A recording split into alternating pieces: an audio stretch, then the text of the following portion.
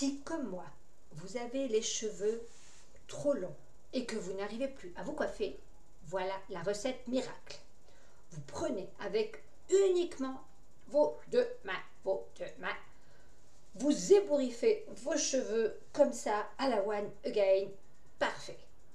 Bien entendu, on n'a jamais d'élastique, on n'a jamais de pince, on n'a jamais ce qu'il faut. Mais si vos cheveux vous tombent un peu trop sur les yeux, comme ça, c'est pas compliqué. Vous faites une raie au milieu, voilà. Vous prenez une mèche sur un côté, ok.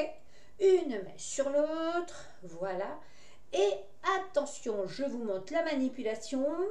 On les attache. On fait un petit nœud. Et voilà.